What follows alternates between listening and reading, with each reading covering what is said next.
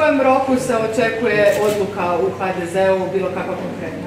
Sad ćete to čuti, još imamo sastanak u temu, vrlo brzo ćete dobiti informaciju što se tog pitanja tiče. O čemu razgovara- sastanka? Da, o čemu, što je na stolu? Pa imali ste e, priliku čuti i u subotu zaključke predsjedništva HDZ-a, a ja sam vas došao malo informirati o tome, ja sam danas razgovarao sa gospodinom Weberom, koji je predsjednik kluba zastupnika Europskih pučana i sinoć sam razgovarao sa gospodinom Dolom, Što su rekli? I moram reći da je gospodin Doli bio začuđen kad sam mu rekao da su prijavili informacije u hrvatskom tisku da postoje e, nekakve očekivanja, nekakve pritiske prema HDZ. On, on mi kaže, gledajte, HDZ je e, članica Europske, Europske pučke stranke.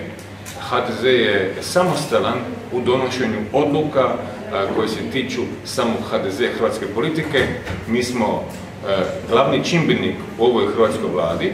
E, imali smo jasno za vrijeme izborne kampanje podršku Europske pučke stranke, naša krovna politička organizacija. I imali smo podršku za e, reformsku agendu u Hrvatskoj. Mi to činimo, imamo u tom smislu podršku naravno Europske pučke stranke, predsjednika Europske pučke stranke gospodina Dola, ali i predsjednik kluba zastupnika gospodina Webera koji je jutros dobio poziv gospodina predsjednika vlade Oreškovića. Naravno da se on odazvao kada ga zove predsjednik jedne vlade, e, koji je HDZ glavni čimbenik. Gospodin Orešković je dobio mandat predsjednika vlade jer ga je HDZ predložio. Tako da se gospodin Weber jasno javio gospodinu Oreškoviću, a gospodin Weber je bio začuđen da su prijavili informacije e, u tisku o tom telefonskom razgovoru. Malo prije mi je rekao da smo nas dvojice razgovarali telefonom, da jasno Europski pučan ima svoga partnera u Hrvatskoj, on se zove Hrvatska demokratska zajednica, drugi partner je Hrvatska seljačka stranka i mi smo ti koji komuniciramo sa pučanima i u klubu zastupnika i sa centralnom stranačkom u Briselu, imamo druge partnerske stranke i mi smo ti koji ćemo osigurati stabilnost u Hrvatskoj i mi smo ti koji ćemo provesti reforme jer bez HDZ-a ove hrvatske vlade ne može biti. Meni jako žao da došlo do manipulacija u javnom prostoru Hrvatske zbog tog jutrošnjeg telefonskog razgovora među predsjednika vlade Oreškovića i gospodina Webera, jer ponavljam, gospodin Rešković je zvao gospodina Webera, a ne obrnuto. Razmišlja li HDZ o tome da umjesto gospodina Karamarka na mjestu prvog potpredsjednika vlade uh, imenuje nekog drugog? Hrvatska demokratska zajednica je donijela u subotu zaključke koji su vama poznati i uskoro će dobiti nove informacije o tome kako ćemo nastaviti te zaključke provoditi. Hvala vam Je li vam lijepa. čudno zapravo što je.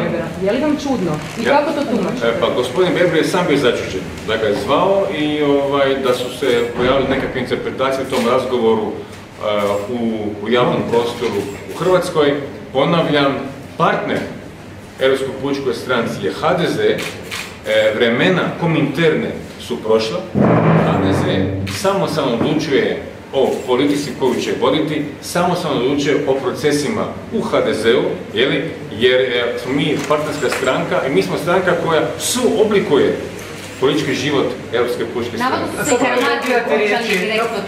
Kako komentirate? Ja sam se čuo danas sa gospodinom A predsjednikom? Weberom i ja sam se čuo i danas i sinoć sa gospodinom Dolom, koji je predsjednik Pučana i ponavljam, gospodin Dol mi je rekao sljedeće, da ga nitko nije zvao novinara iz Hrvatske i da nisu raspravljali uopće na stranačkim tijelima o Hrvatskoj i o HDZ-u. Hvala lijepo. Kako komentirate riječi Milorada Pupovca koji kaže Tomislav Karamarko nema njegovu potporu za preslagivanje u vladi ili u stvarno Pustite vrijeme da to, se... ma pustite, ja, ja, ja, ja više ne želim sudjelovati u nekakvim špekulacijama, nabacivanjima, ja sam sve lijepo rekao, mi smo stranka koja osigurava političku stabilnost, mi radimo strukturirano, sve ćete čuti, mi smo ti koji samostalno odlučujemo o sebi i o hrvatskoj stvarnosti i budućnosti. Hvala lijepa. Hvala lijepa.